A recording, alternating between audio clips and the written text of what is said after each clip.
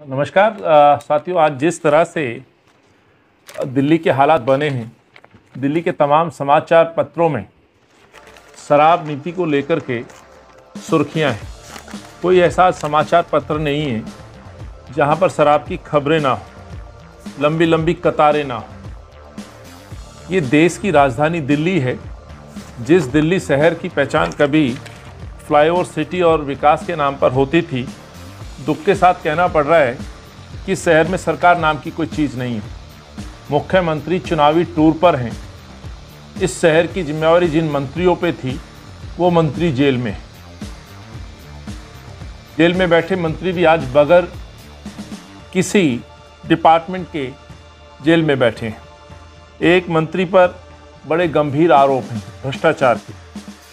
और लगातार हम ये बात कह रहे हैं कि अरविंद की कैबिनेट के लगभग 80 प्रतिशत मंत्री या तो जेल की हवा खा चुके हैं या जिन पर संगीन आरोप तो आखिर इस दिल्ली की सरकार है कहाँ? इसलिए मैं कहता हूँ कि इस शहर में सरकार नाम की कोई चीज़ नहीं है, क्यों नहीं है, ये भी मैं कहना चाह रहा हूँ।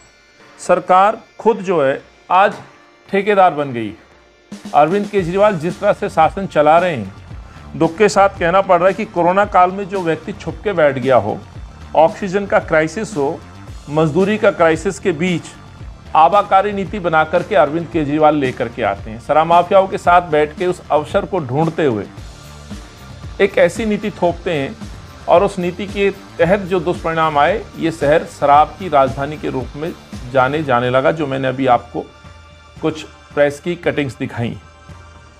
मुख्यमंत्री के पास कोई विभाग नहीं, वो चुनाव में व्यस्त रहते हैं। उनके पीडब्ल्यूडी के बड़े महत्वपूर्ण व्यक्ति हवाला कांड में दोषी हैं, कई महीनों से जेल में हैं। उनके खुद के वित्त मंत्री पर भ्रष्टाचार के गंभीर आरोप हैं। तो एक सबसे महत्वपूर्ण व्यक्ति जेल में बंद है और दूसरा जेल जाने की तैयारी में है। इसलिए मैं कह रहा हूँ कि यहाँ सरकार नाम की कोई चीज़ है नहीं। पुरानी शराब नीति को बदल कर नई नीति लाने का आप काम करते हैं। किसी से राय मशवरा नहीं करते हैं। जबकि चुनाव के दौरान आप खुद स्वराज अपने मैनिफेस्टो में ये कहते थे कि हम लोगों से पूछ करके ये नीति बनाएँगे। आरडब्ल्यू से पूछेंगे। धार्मिक संस्थाओं का ध्यान रखा जाएगा। लेकिन अफसोस, तानाशाही रवैये के तहत अरविंद केजरीवाल ने इन शराब माफियाओं को ये शहर बेच डाला और उसी का नतीजा रहा कि शहर को एक नई पहचान मिली, जिसका विरोध कांग्रेस पार्टी लगातार करती रही। हज़ारों लोग इस योजना को थोपने के बाद बेरोजगार हुए जो सरकारी दुकानों पे काम किया करते थे। आज आप रोज़गार देते नहीं लोगों को बेरोजगार कर देते हैं। मास्टर प्लान की धज्जियाँ उड़ाते हैं। नई नीति लाने के तदुपरांत आपने देखा होगा, पूर्व की यदि हम नीति से कंपेयर करते हैं तो लगभग 18 नॉन कंफर्मिंग क्षेत्र वाले विधानसभा क्षेत्र में मात्र पाँच दुकानें हुआ करती थी, जो कि बढ़ा करके 216 दुकानें कर दी गई। ये उदाहरण इस बात का कि इस शहर में सरकार नाम की कोई चीज़ नहीं है। जनता सड़क पर थी, भूखमरी से परेशान थी, कोविड से परेशान थी और अरविंद केजरीवाल लाइसेंस बांट रहे थे। किस चीज़ के? शराब के। ठेके के। ये शराब के ठेके किसको दिए गए? इसलिए मैंने पूर्व में भी कहा है, फिर मैं ये बात कह रहा हूँ। जाँच एजेंसियों को इस पर भी जाँच करनी चाहिए कि कितने भाजपा के नेताओं के पास शराब के ठेके हैं, कितने आम आदमी पार्टी के कार्यकर्ता और नेताओं पर ठेके हैं, कितने आम आदमी पार्टी के कार्यकर्ताओं के घरों में ठेके खोले गए।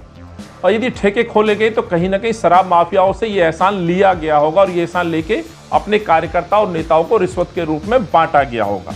ये भी मैं कहना चाहता हूँ। और इस लाइसेंस बांटने में जो करोड़ों रुपए का लेन देन हुआ, जो भ्रष्टाचार हुआ, ये भी एक बड़ा विषय है जाँच का। तो आनंद फानन में जब ये आरोप सरकार पे लगते हैं, इनके मंत्री पे लगते हैं और लेफ्टिनेंट गवर्नर साहब जाँच के आदेश देते हैं तो 48 घंटे में ये दुकानों को बंद करने की बात करते हैं। तो एक नई स्थिति उभर के दिल्ली के अंदर आ रही। स्थिति ये आ रही कि 27 उनतीस तारीख को क्षमा चाहता हूँ, उनतीस तारीख को घोषणा की जाती है कि एक तारीख से तमाम शराब के ठेके दिल्ली में बंद कर दिए जाएँगे और पुरानी नीति पर काम किया जाएगा। अब स्थिति ये है कि ये सरकार इस तरह का तो तानाशाही आदेश दे रही है। क्या वाकई ये सरकार दे सकती है? क्या इस इस मुल्क में, इस राजधानी में कोई लोकतंत्र है? अरविंद का मन करता है, नई पॉलिसी लेके आते हैं। अरविंद का मन करता है तो पॉलिसी को हटा देते हैं। स्थिति ये कि आज दिल्ली के अंदर एक तरह से ड्राई डे की तरह देखा जा रहा है, जबकि इनकी नई नीति के तहत साल में केवल दो या तीन दिन ड्राई डे थे। ये स्थिति उत्पन्न हुई है कि आज फिर से जो इलीगल शराब के धंधे में जो लगातार निरंतर काम करें उनको मौके दिए गए अवसर दिए गए आज दिल्ली के तमाम ठेके बंद हैं, लेकिन गुजरात की तरह कहीं दिल्ली को तो नहीं बना दिया जाएगा। क्या ये जहरीली शराब या जो शराब माफिया जो दिल्ली में जगह जगह इस तरह के इस्लाम या ऐसी बस्तियों में जो दारू बेचते हैं कहीं उनके लिए तो नए मौके अवसर प्रदान नहीं किए जा रहे क्योंकि इस तरह के आदेश के बाद स्थिति ये है, ना तो पुरानी स्कीम के तहत दिल्ली के अंदर शराब की दुकानें खुल पाई और ना नए नीति के तहत जो ठेके बंद हुए हैं, वो भी बंद करके बैठ गए तो दिल्ली को शराब माफियाओं को सौंप दिया गया है, ये मैं कहना चाहता हूँ। और एक महीने के अंदर, फिर से कहा जा रहा है, एक महीने के लिए शायद इनका लाइसेंस को बढ़ाया जाएगा। तो किस तरह से नीति को वापस लेते हैं नई पुरानी दुकानों को खोलने की बात करते हैं और फिर उप मुख्यमंत्री कहते हैं, जो कल शाम को आदेश दिया गया है कि एक महीने का लाइसेंस बढ़ाया जा रहा है। जो मन में आ रहा है वही कर रहे हैं। जो अरविंद को और उनके वित्त मंत्री को अच्छा लगता है, वो आदेश दे देते हैं। ना किसी से सलाह, ना मशवरा। ना किसी कैबिनेट से मशवरा है, ना कोई आदेश है। और तो और ना दिल्ली के लेफ्टिनेंट गवर्नर से कोई बातचीत है। बगैर उनकी अनुमति के ये उपराज्यपाल जो सरकार बार बार ज़िक्र आता है, ना बगैर उनकी अनुमति के इस तरह के आदेश पारित कर दिए जाते हैं। तो मेरा ये आरोप है कि इस शहर में सरकार नहीं चल रही है, तानाशाही रवैया चल रहा है। यहाँ किसी की सुनी नहीं जा रही और उसका नतीजा ये है कि दिल्ली को अवैध शराब व्यापारियों को आज सौंप दिया गया है। ये यदि हो पाया है तो ये अरविंद की जो दुर्दशा की कमी कहिए, अनुभव कहिए, या भ्रष्टाचार, भ्रष्टाचारी माइंडसेट कहिए, या उसमें एक तरह से भ्रष्टाचार करने की सोच कहिए, उस सोच के साथ ये सरकार काम कर रही है। अतः मैं उपराज्यपाल महोदय से निवेदन करना चाहता हूँ। कि ये जो सरकार खुद ठेकेदार बन गई है, उस सरकार को बर्खास्त किया जाए।